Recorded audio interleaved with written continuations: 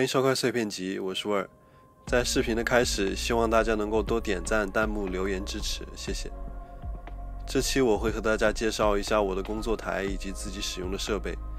接下来就开始吧。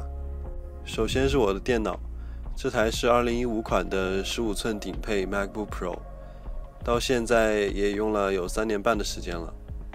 相较于后来的升级版，它是保留了发光 logo 和磁力充电口的最后一代。接下来就是键盘和鼠标，键盘是罗技的 K380 蓝牙键盘。选择它的原因主要有两点，一个是小巧，另一个是保留了 macOS 上的键位功能，比如说调节音量、亮度、上一首、下一首等等。然后鼠标是罗技的 M330，选择它最大的原因是按键静音。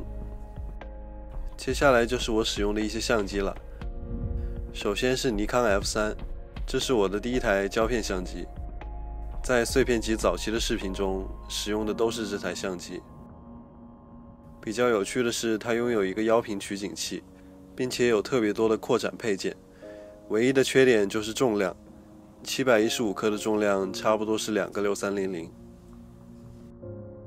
第二个是尼康的 AF 六百，在使用 F 三的一段时间后，因为手动对焦和重量的原因，想买一台傻瓜机试试，所以就找到了它。因为机身十分小巧，能够直接放进口袋，再搭配上一颗锐度极高的二十八毫米镜头，十分适合扫街。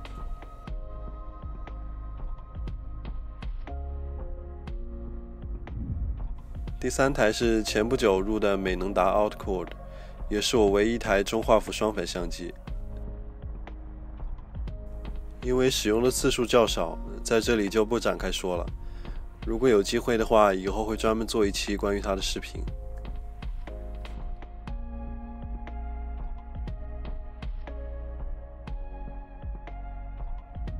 剩下来的两台都是富士的拍立得，第一台是 Wide 三百，使用的是宽幅相机，整体的机身按键较少，只有强制闪光和亮度调节两个按钮。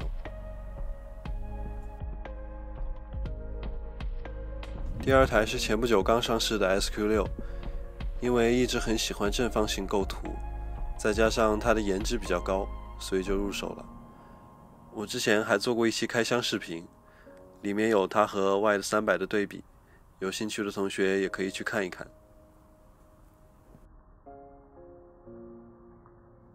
以上就是本期视频的所有内容了。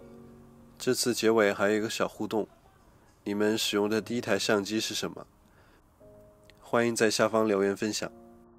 如果喜欢我的视频的话，希望你们能够订阅我的频道。